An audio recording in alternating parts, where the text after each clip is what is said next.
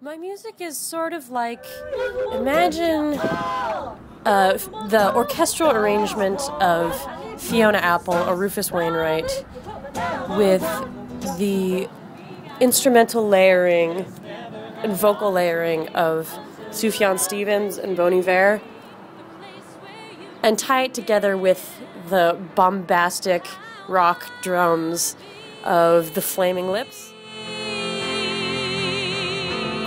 Most of the instruments on the album. Uh, I play all the keyboard instruments, one of the string instruments within the quartet, and I do all the vocal layering.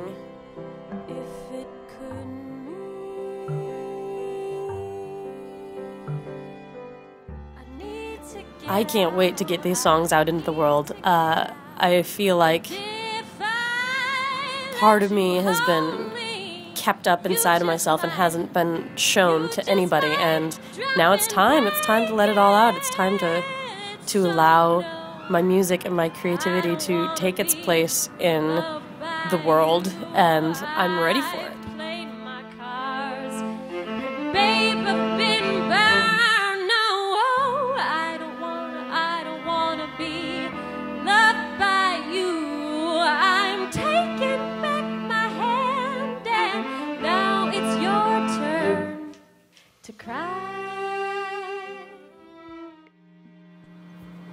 And my brother Adam, who is the engineer that I worked with for this album, he takes care of the drums and the bass on every track.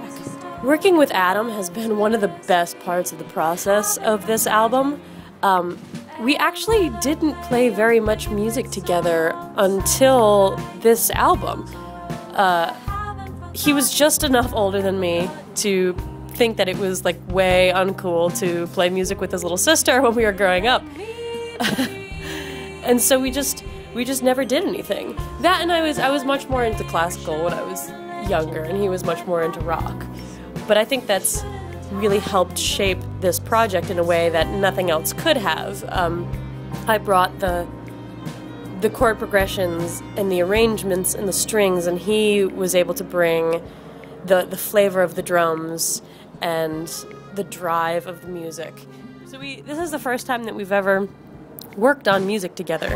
And come to find out, we have so so much in common with our musical styles because we grew up listening to the same stuff. We grew up with the same influences, the same teachers, and it's been a really, really amazing experience to work with him and to to learn this about him and just to be able to, to trust somebody completely with my music and to know that they're not going to lead you astray.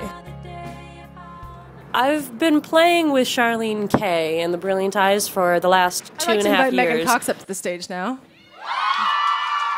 When I moved to the city, she was the first violinist I ever played with, and like, luckily she didn't suck, and we kept playing together. Luckily, she was cool enough as a person that I wanted to keep her in the band. the StarKid Connection. I was lucky enough to be invited on the space tour as part of her band, which was opening up for StarKid. This time around, I'm actually currently on the Apocalyptour with StarKid as well, and I'm so lucky to be able to be playing in their band. What a blessing that has been. Just what an amazing experience. The people are so gracious and so kind and so fun to spend time with. And the experiences, the shows, are unlike anything I've ever I've ever done, I've ever experienced. It just it has reaffirmed to me that I know that performing is what I want to do and that and that I can do this and that this is going to be a part of my life and that someday I will be doing this on my own and and I'm really excited for that. These songs are like my children.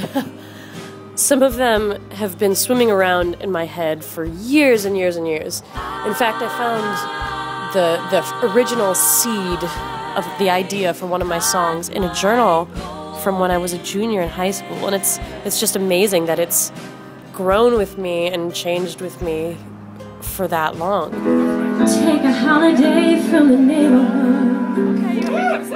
I'm very, very excited to release them into the world and and to finally kind of give them a life, give them a home, and give them a place in my personal history and in, in the history of music. And and to kind of make my mark there.